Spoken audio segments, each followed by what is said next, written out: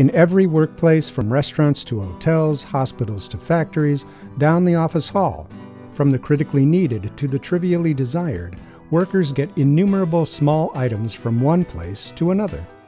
Robotic research has made great strides toward shouldering some of this burden. But most of these systems are highly formal in design, for example, following programmed paths or schedules.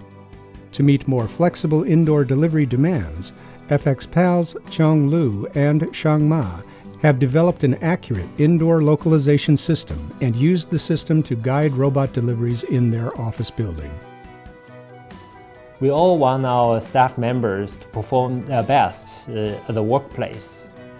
To increase their happiness and excitement, we want our robot table to deliver delicious uh, snacks to them based on their needs.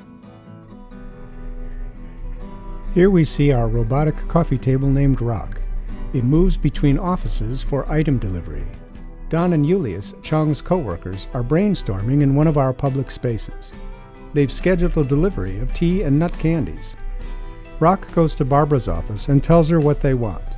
Hi Barbara, could you please give me a tea and nut candies? Barbara puts the requested snacks on Rock's surface, and Rock is on its way to the open space. Qiong, who has been distracted by a message on his iPad, inadvertently crosses Rock's path, but Rock stops to avoid bumping into him. Excuse me. Rock then moves on to the open space, turning and following an appropriate path that sets it to park neatly between Don and Julius.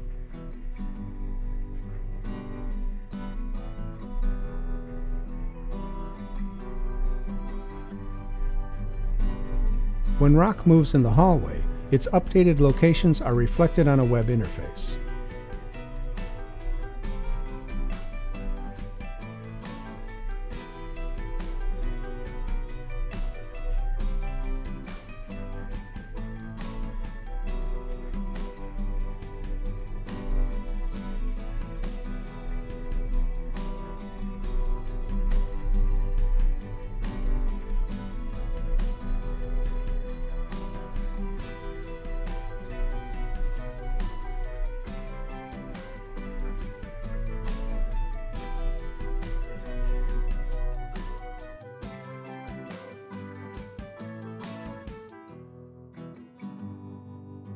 Enjoy your snacks.